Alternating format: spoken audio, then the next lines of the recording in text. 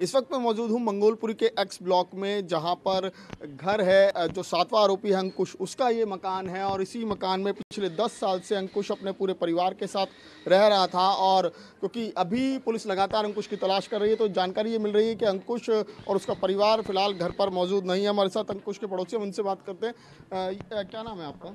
मैं जी राजीव है। जी राजीव जी आप कब से इस परिवार को जानते हैं अंकुश को और उसके भाई ये जी पिछले दस साल दस साल से रह रहे हैं यहाँ पे। अच्छा परिवार के लोग कहाँ पर हैं? कब से नहीं है यहाँ पर? वो तो कई दिन से नहीं है। जब से नहीं है मेरे ख्याल क्या पुलिस आई थी यहाँ पर? ऐसे मुझे इसका जानकारी नहीं है। अच्छा जिस ये घटना बताई जा रही है इकतीस तारीख की क्या उसके आसपास या एक तारीख को आपने देखा था अंकुश को या अमित को यहाँ पर? नहीं जी मैंने नहीं देखा। एक तारीख की इकतीस तारीख को नहीं देखा। नहीं जी।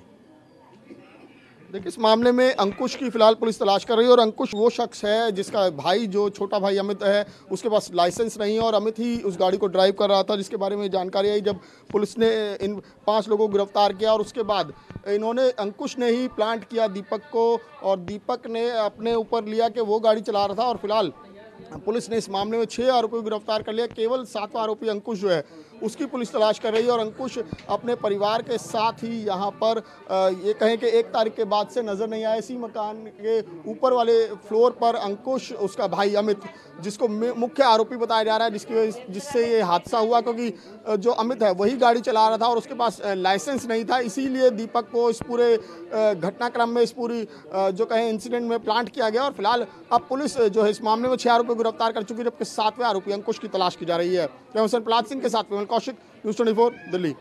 नमस्कार, मैं हूँ मानक गुप्ता। अगर आपको हमारा ये वीडियो पसंद आया हो तो इसे लाइक और शेयर ज़रूर करें। और हाँ हमें सब्सक्राइब और फॉलो करना ना भूलें, ताकि आप देश और दुनिया की कोई खबर मिस ना करें। तो जुड़े रहिए हमारे साथ और देखते रहिए न्यूज़ 24